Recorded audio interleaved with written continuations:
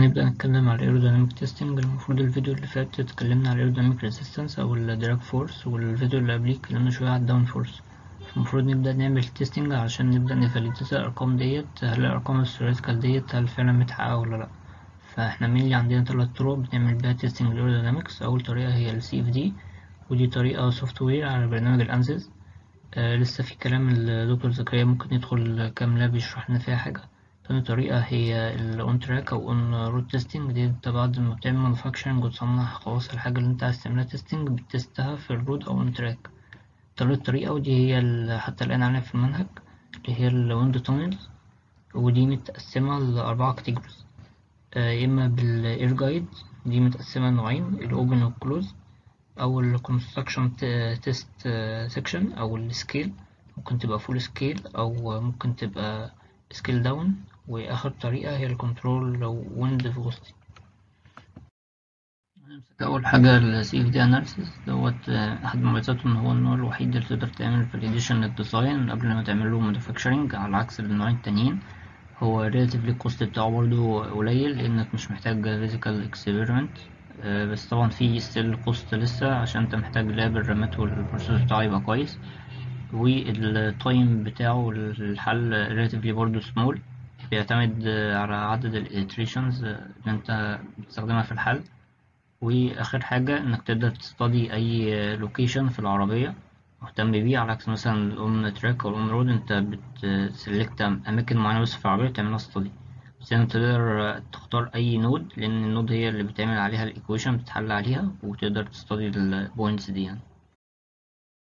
زي ال CFD بيقدر يحل ال cases اللي انت بتديها له ديت عن طريق انه بيستخدم Navier-Stokes equation ديت بتبقى خمس معادلات. أول معادلة هي continuity ودي لازم تطبق في أي case انت بتديها له. التلات معادلات التانيين هما المومنتوم في الاكس والواي والزد وديت على حسب ال case انت بتديها له. لو حاجة زي اليمين كده انت دي في 2 D بس فانت محتاج مثلا ال x وال y equation بس هي اللي تطبق وهتهمل ال z وبالتالي انت كده هتوفر وقت في ال simulation وال run على الجهاز. وآخر واحدة هي energy ودي بتطبق في حالة لو في Q in أو Q out أو أي حاجة لها علاقة بال temperature بس. تاني method هي ال on track أو ال on road test ديت ليها تلات طرق. آه، أول طريقة إنك تركب linear potentiometer على كل spring وأنت already عارف ال spring rate أو ال K بتاعته فتقدر تحسب ال down force تاني طريقة هي ال coast down test وديت عن طريق إنك بت accelerate العربية عند high speed وبعدين تمورها أو تجيبها neutral بتسيبها ت coast لحد ما تقف. وت record ال time دوت عن طريقة تحس... تقدر تحسب ال aerodynamic resistance تالت طريقة هي wool test وديت عن طريق إنك بتركب pieces صغيرة من الصوف على العربية زي في الشكل دوت كده وتبدأ تمشي العربية on road أو on track فالصوف دوت هيبدأ يتحرك وياخد شكل ال stream lines اللي جاية على العربية فتقدر بال test دوت تعرف شكل ال vortices وأماكنها فين آخر method هي ال wind tunnels وأول category ليها هو ال air guidance في منه نوعين ال open وال closed ال open دايما ال inlet هوا fresh air من بره ال closed بتاخد ال- الخارج من ال tunnels وترجعه تاني فده ليه ميزة إنك بتقلل ال power requirement.